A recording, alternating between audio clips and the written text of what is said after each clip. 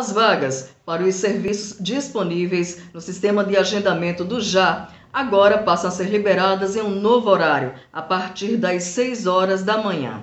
Para agendar o atendimento, o usuário deve acessar o site agendamento.ceplag.al.gov.br e marcar o melhor dia e horário disponíveis na plataforma. O agendamento é gratuito e deve ser realizado pelo próprio cidadão ou por uma pessoa de sua confiança. De acordo com informações da Superintendência de Atendimento ao Cidadão, da Secretaria de Estado do Planejamento, Gestão e Patrimônio, a nova medida deve otimizar o funcionamento do sistema.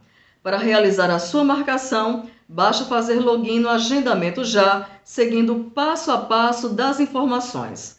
Se for o primeiro acesso, o usuário deverá clicar em registrar e, em seguida, preencher os dados com o seu nome, CPF, CEP do seu endereço residencial, e-mail, telefone e confirmar o cadastro. É bom lembrar que a Central Já de Atendimento ao Cidadão não envia código de verificação através de WhatsApp ou via SMS.